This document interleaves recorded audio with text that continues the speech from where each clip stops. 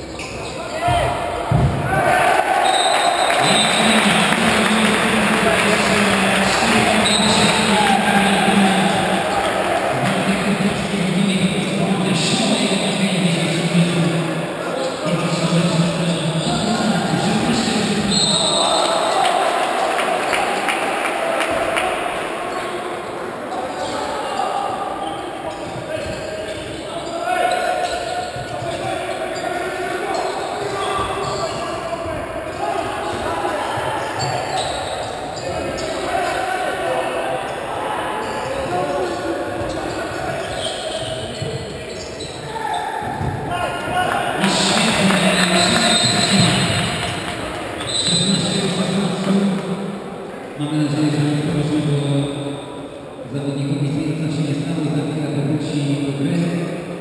A już za chwilę nasz zespół na objęcie prowadzenia w tym meczu. Ale nie za chwilę. Oczywiście jeśli tylko zawodnik stanowią się 16 do 16. 7 do Jakunia Chorowskiego, 6 do Utrata. Jakiś szoferzy panowie w dzisiejszym meczu, a przed nami większość zdaniem Łukasz Niemiec, to jest swoje najwidoczniejsze, jak będzie sobie dużo radość. Cieszymy się oczywiście z